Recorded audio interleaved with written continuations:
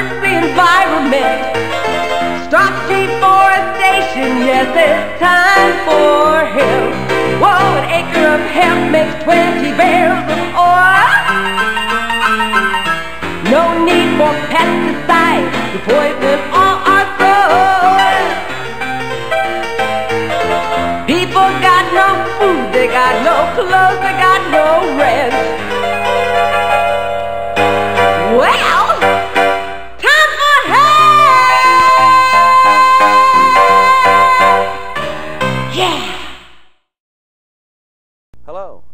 Time to Time for Hemp.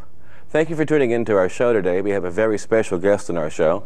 He's one of the founding fathers of the hemp movement and has been hailed by High Times magazine as the patron saint of the cannabis movement. He's author of the book The Emperor Wears No Clothes, which has been considered the Bible of the hemp movement, and he's been one of the most hardest working activists in the past 17 years, doing everything he can to make this wonderful plant legal. Jack Herer. Jack, welcome Thanks, to my show. Thanks, guys. How you doing? Fine, thank you for coming. Okay. Okay. Can, can you tell me how you first began uh, getting involved in the hemp movement and what it was that uh, got you all excited about it and where you're from? Well, it kind of happened in two stages. 1969, I was 30 years old, and this woman, young lady, turned me on to uh, some pot because she thought I was very square. And uh, she thought I never had any real feelings, and uh, I told her, of course, I felt everything that any nobody could feel more than I could feel. But um, she insisted, and because I liked her, I kept trying it. Nothing happened the first two or three times, and one day she came home with some Acapulco Gold, Yeah. and she said, "I want you to keep smoking these." And I got very stoned, and she put earphones on me, and I heard music in color, and I said, "Wow, this is the best I've ever felt in my life, and it's illegal." so you know, that's how I kind of got involved. And a couple of years later, a friend of mine over a, a little uh, uh, potty had told me we had written on the back of a paper bag a 1 to 10 scale, and then we had written the delineation, a 1 to 10 scale on how good pot was, so that.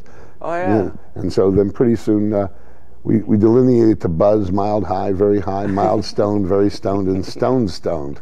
And um, so what happened at that point was that the government picked up the book that I had written with Al Emanuel and had made it its world standard for some thousands and thousands No, of, really? of- of- yeah for, for ongoing clinical studies. So they everybody had to say how, how, good was the grass you just smoked, and these thousands of studies where they're actually smoking in 74, 75, 76, and they'd say they'd have to say a six or a seven on my scale. Or A seven and then, and then they yeah, and then they had to say, um, did you have a did you have a buzz or a mild high? And buzz, for instance, we had delineated as buzz, the first feeling you got from grass, that something was different inside you. And mild. Yeah. high, television was a shade clearer. And finally, when we got up to like very stoned, you could get lost walking in the kitchen. Yeah, I mean, yeah, yeah. You remember those? Yeah. Well, that, As a matter and so fact. one day I walked into the marijuana office in 1973 for the California Marijuana Initiative, which in 1972 had gotten 34% of the vote and actually made the ballot. And I walked in there and I didn't know anything about marijuana other than this funny little book that my friend and I had thought we'd put together.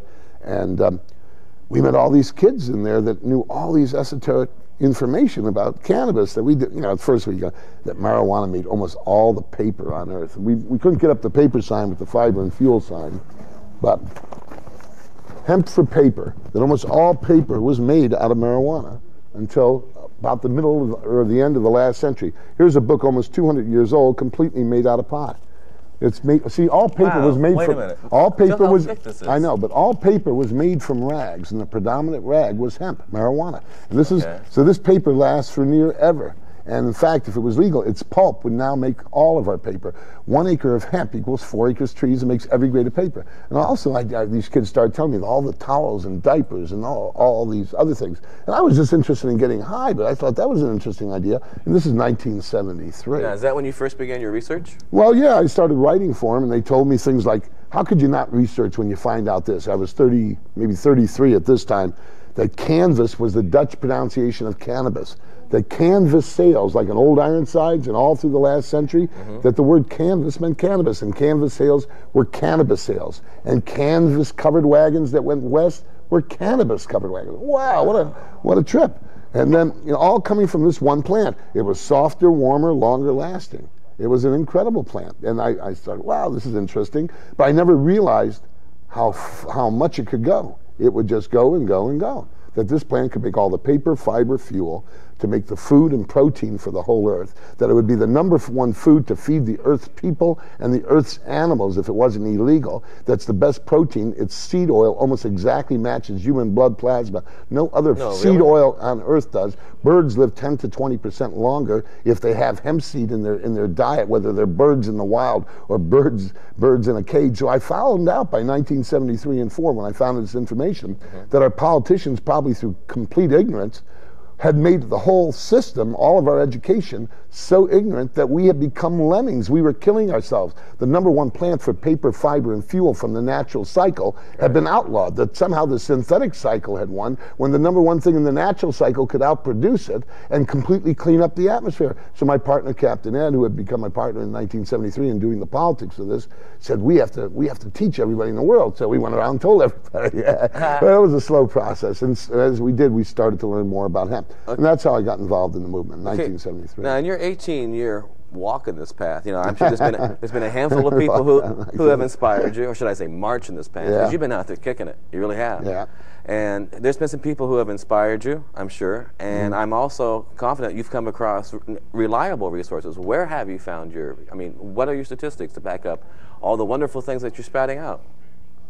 Well, all of them come from the Department of uh, Agriculture, both the State Departments of Agriculture of Kentucky and Wisconsin, who, by the way, April 5th of 1991 are, is holding the, a brand new meeting on this. Um, um, I found this in the archives under, this was the uh, actual minutes of the congressional testimony in 1937 in the senatorial testimony. All plastic was to be made out of pot. Um, all paper was to be made out of marijuana. Bulletin 404, 1960. The whole bulletin is here reproduced. It was actually made on marijuana paper, on hemp paper, hemp pulp paper, the first hemp pulp paper in history. I mean, So back there, they were saying fiber, fuel, Oh yeah, paper. and then in right? 1937 they wrote an article that was published in 1938 called "Popular Mechanics' New Billion Dollar Oh, Crop," yeah. and this is exactly the way it appeared in Popular Mechanics in February of 1938. And what happened when this when this appeared is that it would make a new machine that brought the, the harvesting down from 300 hours to harvest and break an acre to less than an acre. It would make all the cellophane, it would make all the dynamite, 25,000 new products. First time the word billion had ever been used with an American agriculture crop. First time? First time it had ever been used with an American agriculture crop. And, then, and actually, that everybody thought linen was made out of, out of flax, but it actually says here in Popular Mechanics, echoing uh, Britannica, that almost all linen was actually made from hemp, and that none but an expert could tell the difference. Here it says the paper industry offers even greater possibilities. An industry that amounts to over a billion a year. That's about 80 to 100 billion now. And of that, 80% is imported. But it says right here, but hemp will produce every grade of paper, and government figures estimate 10,000 acres devoted to hemp will produce as much acres as 40,000 acres of average pulp. So the whole back of the book, what we took out is hundreds and hundreds It's of all your documents. documents. And so that everything we say in the front half, there's three, four hundred documents that over and over and over uh, show and prove From and prove and report. They're all government sources. So you don't have to believe me. Just No, I was just curious, You know, yeah. it's just uh, it's Okay, a matter but- of record. Okay, now once you realized all this, Yeah. and you started putting the pe- uh, parts together, this puzzle, and you got this whole picture, right? Yeah. What was your first impression, dude? I mean, what did you feel? Anger, rage, enthusiasm, No, I, I, shock? wondered, I wondered how a, I wondered how a people could outlaw a natural thing, and I was one of the people that probably thought it was okay before I started smoking pot. So I wondered why I did it, and I realized I was ignorant that they didn't teach us this in school. They didn't teach us that the No, flag, right. that the Betsy Ross and the flags were all made out of pot. They didn't tell us that the first and second draft of the Declaration of Independence was made out of pot. Maybe it was important, but you know it's so important that when you start to tell them, they say children don't need to know. You begin to get suspect of the of the big corporations who run the museums and put out what they want to put out. Or maybe it's just that nobody wants the embarrassment of having admitted they didn't know anything. One of the technicians here, I just told her about hemp for paper and canvas was a Dutch pronunciation of cannabis and all those. Mm-hmm. She said, I didn't know that. I didn't know that. And then another one did it. I didn't know that. I didn't know that. So that means ignorance. I, you can't get mad at ignorance. You can just get mad at the situation that creates ignorance. And in this case, the law, which I decided with my, my partner, Captain Ed, made me take a pledge to do until I was dead. It was legal at 84. Worked for the uh, for the relegalization of the number one plant for paper, fiber, and fuel, and probably the healthiest single thing a human being ever does. Um, along the way, I found out that, that hemp, when you smoke it, dilates your arteries, lowers your blood temperature, body temperature, lowers uh, your uh, ocular pressure, opens, dilates your bronchioles better than anything else we have, and finally uh, it lowers your stress, the number one killer on earth. So here is the healthiest thing that statistic after statistics indicated you might even live longer if you smoke pot every day wow. than if you do no drugs whatsoever and you lived 8 to 24 years longer than people that used alcohol and tobacco. What kind of idiot would make somebody else be a lemming for some stupid law that politicians in their ignorance must have Good made point. up because if they knew it, Excellent they'd be criminal and working for pharmaceutical companies. Like point. George Bush used to do with Lilly, which was owned by Quayle. Yeah. okay. Nice? Now I know that you keep using the word hemp, hemp, hemp. The name of your organization's hemp stands for Help End Marijuana Prohibition, uh-huh. and hemp seems to be your favorite word. But in all honesty, isn't hemp marijuana? I mean, why aren't you using the word marijuana? Why did you? Why did you? Why do you keep using it, hammering it into people's minds as hemp? When it's really marijuana. Well, along the way, I, I, began to read all this William Randolph Hearst yellow journalism, whether it was from him eh, or from his newspaper editors or some conjunction. But his yellow journalism, what do you mean? Yellow journalism. Hearst. If you look up yellow journalism in the dictionary, it'll tell you William Randolph Hearst newspaper. It means when you you uh, do sensational, outrageous stories. He doing that with. Well, that, he was doing it with marijuana. He's had headlines: marijuana goads boys to bloodlust and murder in 30 days. Well, you know, I've never seen anybody do anything on pot except get the munchies, you know. so, yeah, I don't, I don't know. I mean, and they would say that marijuana turns man into a gunman. That axe murder smoked marijuana cigarette four days before. Oh, kind of like that reefer and, madness. Yeah, stuff. well, yeah, and, and you know, and so, and they use the word marijuana, marijuana, marijuana. When I look back, you know what the word marijuana comes from? The Mexican Sonoran uh, colloquialism slang right. for intoxicant. It didn't even mean the flower of the hemp plant, since our politicians put out this. They call this marijuana, but actually it's the flower of the hemp plant, and the stalk, of course, is the of, of the of the hemp of the hemp plant, or from it comes the hemp of the hemp plant. But the word marijuana was just, became known by the poor people, the Mexicans and blacks who smoked it along the border and in the west, southwest and around New Orleans and um, and they called it marijuana or reefer or grifa. And okay. um, what happened was uh, William Randolph Hearst never used the word hemp. Now we had hundreds and hundreds of hemp medicines. Had been the number one and two and three medicine in America through most of the 1800s. But until 1863, it was the number one medicine we had in the United States for asthma, for for muscle uh, for mus- uh, really? muscular spasms. For tetanus, it was the only thing. When somebody got tetanus, we gave them huge, massive doses of, of, of hashish or, or what they called hemp extractums or cannabis extractums, and we give them so much that they get more in a, in a, day or two than you and I have done in our life. Wow, pay to and, get sick. And well, wait a second, no, I don't think so. These guys didn't like it, but for nine days while they had the tetanus, which is feces in the blood basically, and and before the toxins could put, pass through the, the liver, and you got the and you got the lockjaw, and, and, the only thing that could keep your muscles soft enough so you didn't die from this and to, to allow the toxins to pass was to take huge, massive doses of hashish. Wow. And well, nobody ever died from it. In fact, I want to repeat that. There's never been a single death from marijuana. Not one? Not, well, none that we know of except at the hands of police. I mean, there probably is some car accidents, but it's well known that people people do seem to drive a lot safer. They've done study after study after study from car and driver okay. to the University of Washington, and that they um, they found out that they people actually drive a little safer as far as getting home than even people that are straight. They just miss their freeway exits more often. but when you're straight, you miss your freeway exits. You go, wow. But when you're stoned, you go. I understand. Whoa. We've got a. I like that. I, I, I relate. uh, I understand that uh, you, we got a roll in that we want to share with the audience. That okay. uh, it, you've been doing a, a, hemp tour around the nation several years off and on, -huh. and you've taken your message across the United States. I speak a couple hundred colleges a year. And you're probably one of the best known speakers on on the topic. And I believe here this this particular uh, was shown at Santa Clarita. I don't know. I've done. Santa Clara, and Santa Clara, Santa Clara, California. Or Santa Cruz. Santa Cruz, who knows? Santa something in California. okay. Because your message is pretty strong and pretty much the same and consistent, which makes you different from a lot of people who go out there and say one thing one day, and one day the next, and one day the next. Like, uh, aren't we all happy campers type of comments, right? I'm a happy camper. I'm a happy camper. and so I think it might be possible to take that role in now, please. So without any further ado, let me introduce to you the man who's really behind this thing, Jack Herer.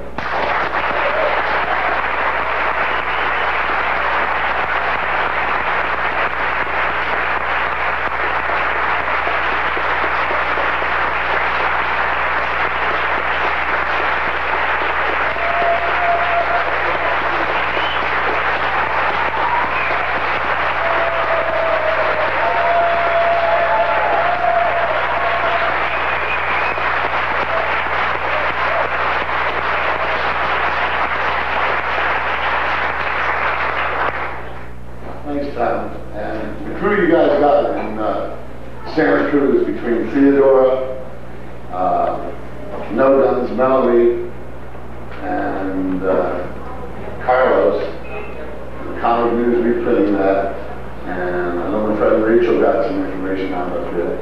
Uh, nice turnout, and I hope that one of the things you learned from me tonight is how I learned about this, which was like, I had no idea. I mean, if any of you think you didn't have any idea, I didn't have any idea that marijuana, when I, when I started writing, when I wrote my first book about pot, I had no idea that marijuana and hemp came from the same plant. In fact, I wouldn't have known what hemp was.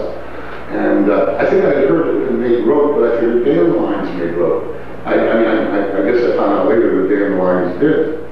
But here I was, here I was with, you know, smoking pot. I'm 30 years old. I just got divorced. And I smoked some pot. Well, how I smoked some pot was this girl decided that she wanted me to get high because she thought I was pretty square.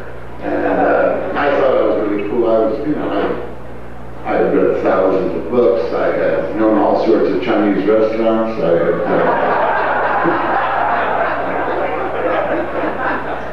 And uh, one night in an argument over some pot that a friend of mine and I had sold, he had sold to me, we had argued about the grade of the marijuana he had sold me.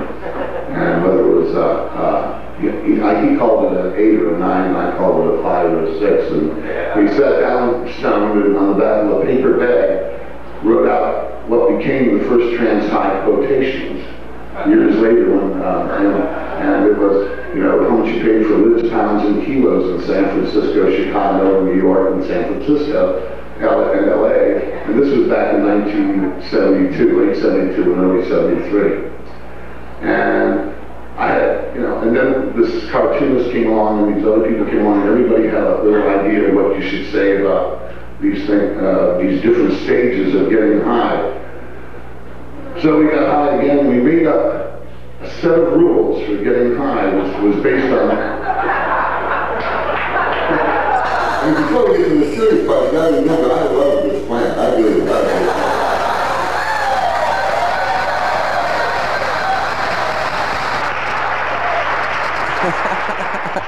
That's great. I can obviously see that you have appreciation for Mother Earth.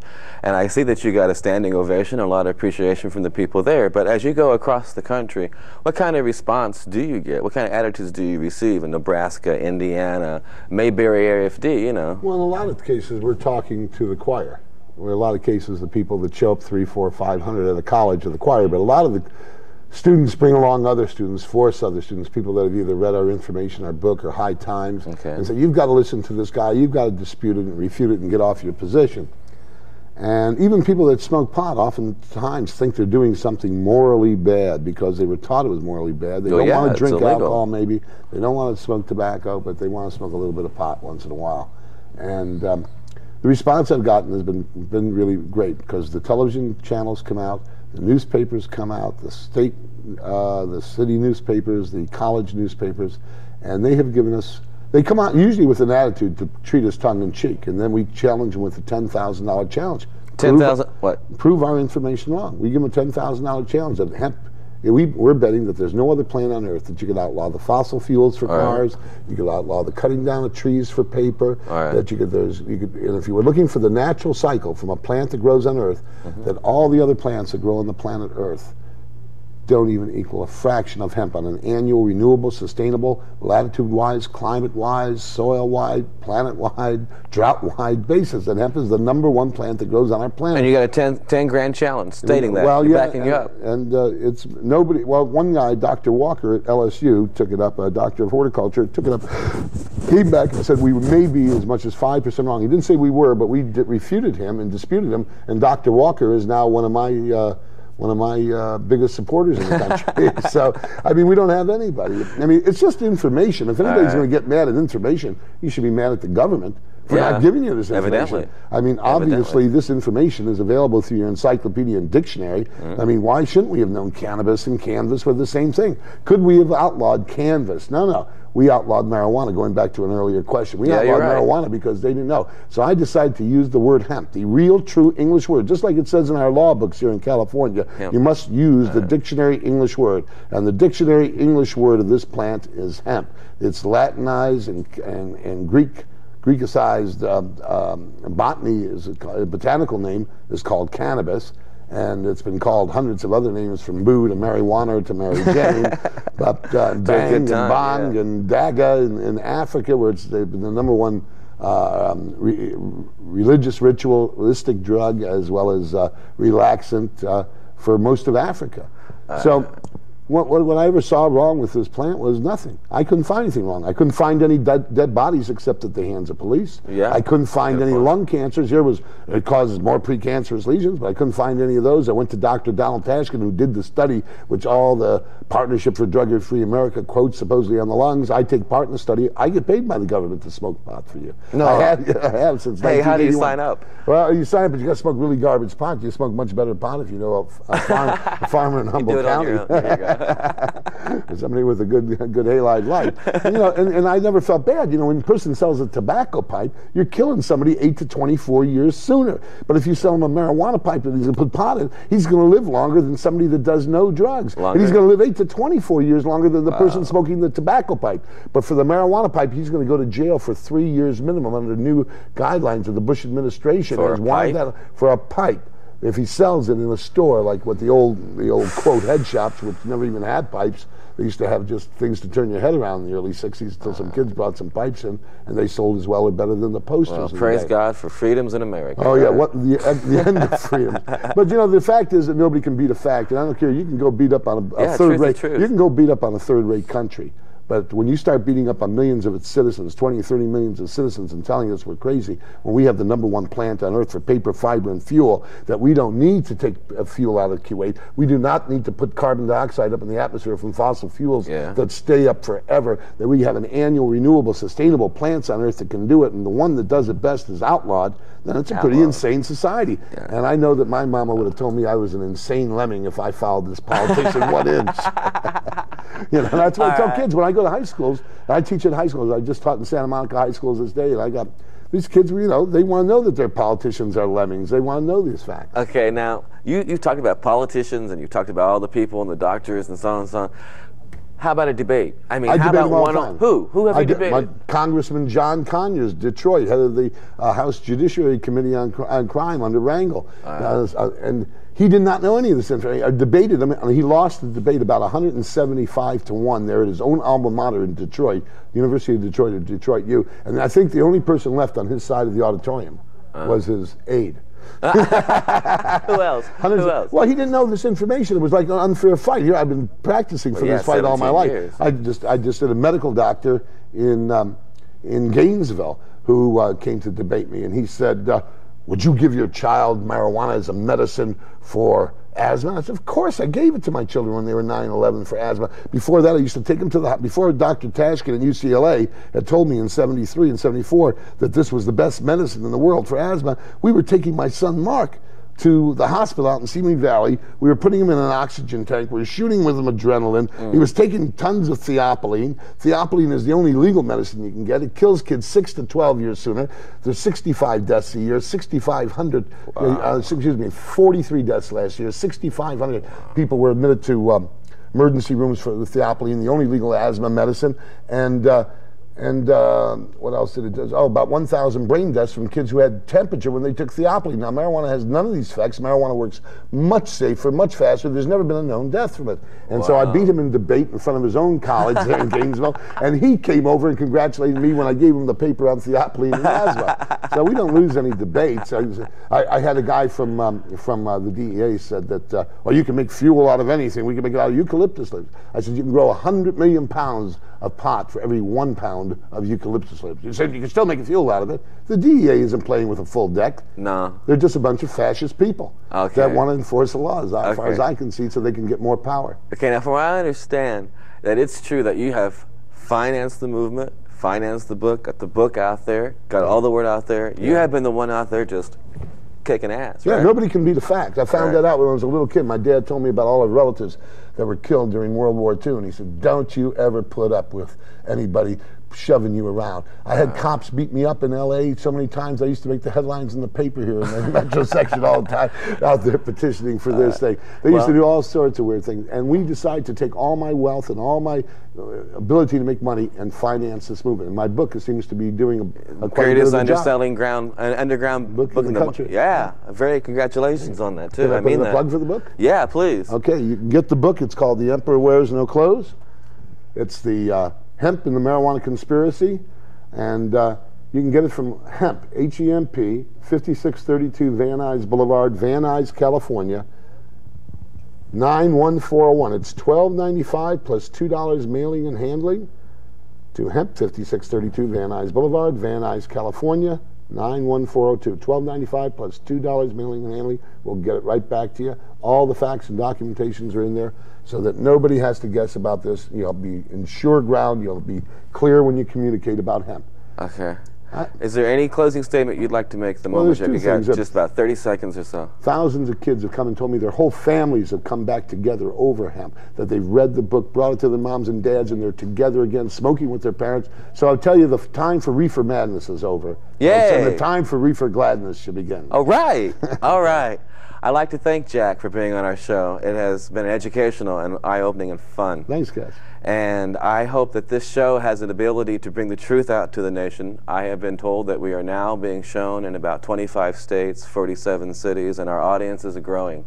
If you have anything that you think would participate in what we're doing here, we are focusing soon on the victims of this war. Jack has friends who are suffering as victims, don't you, Jack? Till the next century, they're in prison for doing something, smoking a flower from the ground. And we want to find some way to get them free. We want to put faces on these victims. Please contact us.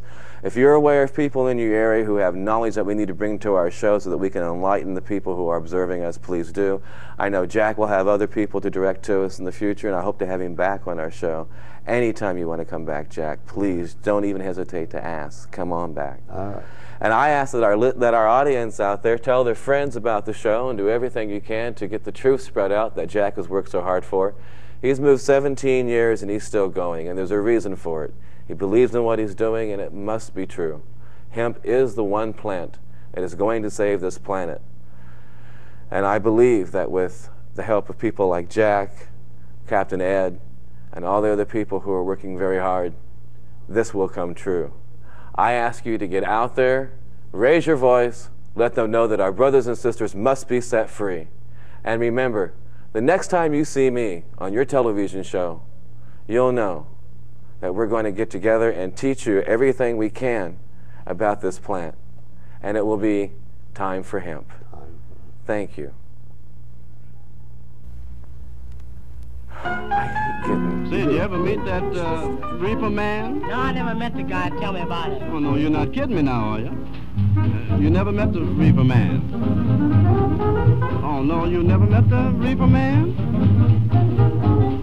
And yet you say you swim to China and you wanted to sell me South Carolina? I believe you know the reefer man. Did you ever meet the funny reefer man? You never met the funny reefer man? And yet you say you walk the ocean anytime you take a notion? Yeah, I believe you've seen the reefer man.